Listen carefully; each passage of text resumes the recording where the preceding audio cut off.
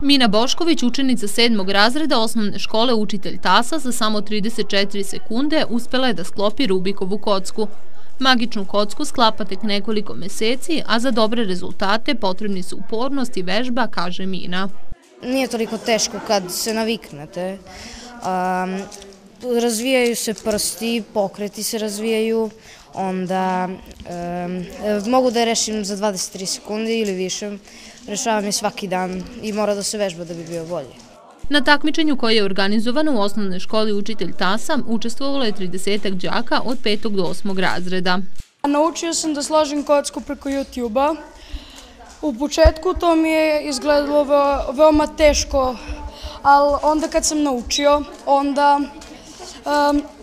onda je sve bilo lakše i lakše, iznova i iznova sam sklapao i sve mi je bilo lakše i rekordi su i obarao sam rekorde. Inače ima algoritmi za sklapanje i tamo sam naučio preko YouTube-a i onda sam svaki dan, ne baš svaki dan, nego po svaki drugi dan sklapam po dva ili tri puta.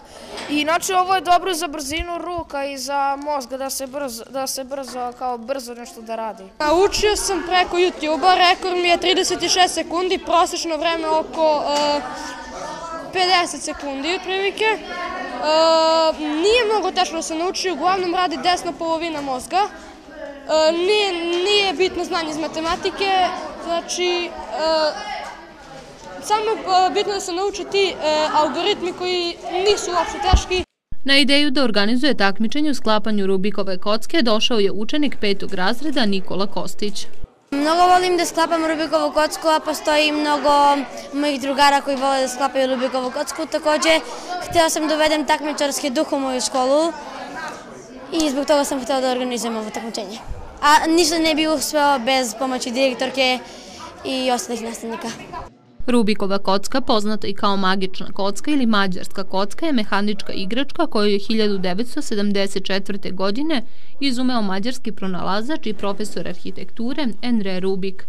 Kocka je sastavljena od 54 manjih plastičnih kvadrata koji se vrte oko središnjeg jezgra.